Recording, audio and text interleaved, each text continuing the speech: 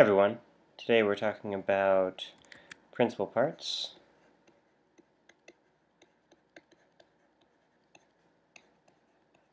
And we're also going to be talking about the infinitive, but we're going to start by talking about principal parts of a verb. So Latin verbs have typically four principal parts, and so far we've talked about first and second conjugation. So I'm going to write a first for first conjugation and a second for second conjugation and give you the basic endings for these. So for a first conjugation verb, our first principal part is going to end in O, and then our second principal part will end in RA, A-R-E, and then our third principal part will end in AVI, A-V-I, and our fourth principal part will end in ATUM, A-T-U-M. Okay, and that is the pattern for all principal parts that are first conjugation for all the verbs that we've learned so far. And second conjugation verbs will have this pattern. So EO or EO, and then the second principal part ere, and the third principal part ui, and the fourth principal part itum. So these are the basic endings for the principal parts for first and second conjugation. Now we're going to go through a couple of examples of each of these, starting with first conjugation. So for first conjugation, we'll use the verb clamo. So clamo, clamare, clamavi, and we're going to run out of room here, put the fourth principal part down here, clamatum. Okay, and clamo of course means to shout.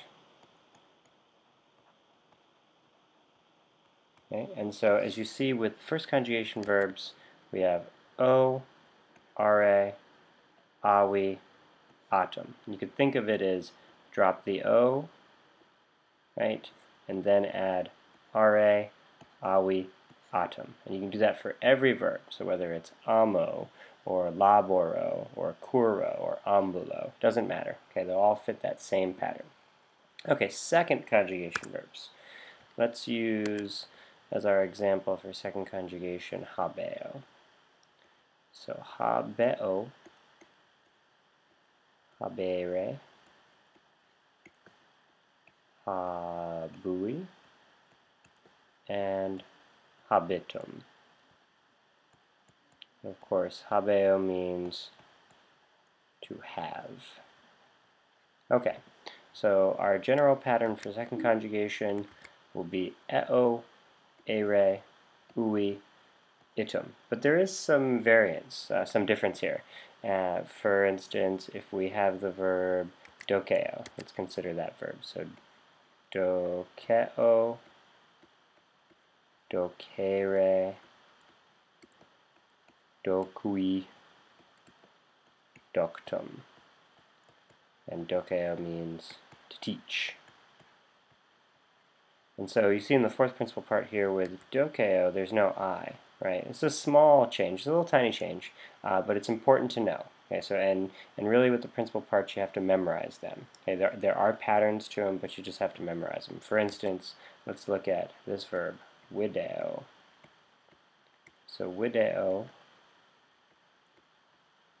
video videre. And then the third principal part, vidi, that's way different, vidi, and then visum. And video means to see. So especially in the third and fourth principal parts, video looks a lot different from uh, doke or habeo, from docui or habui, right?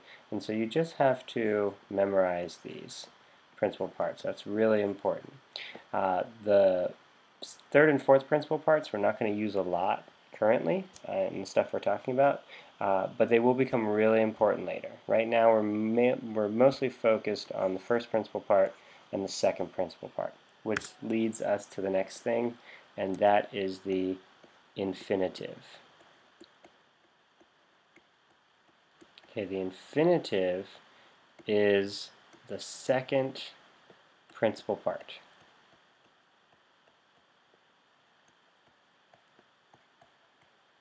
Okay, So whatever the second principal part of the verb is. So here are examples of infinitives. Amare, uh, monere, okay. So any second principal part of a verb is an infinitive. And the infinitive is important because we use the infinitive to conjugate the verb. Remember we take away the re from the infinitive to find the stem of the verb. And the infinitive also has a special translation.